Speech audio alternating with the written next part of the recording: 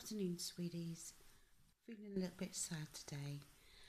As you're all aware of last night's events in Manchester, I just, I just can't believe what I'm seeing on the news. I just want everyone to know that my heart goes out to everyone involved last night, to the people, the families, the children, well, just to everybody really. The emergency services that work so hard, the police, well, it's just awful. Um, I'm just thinking of you all and I'm sending much love. Anyway, enough of that. Let's try and do something a bit cheering.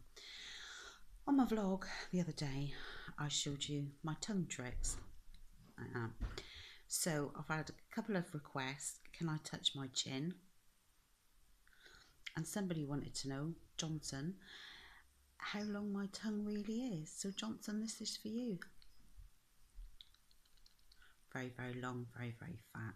Looks like a piece of bacon, I think. Um, I hope you're all having a good afternoon, whatever you're doing. The sun's not shining today, but my Jakey's home from Ibiza. Yeah, yeah.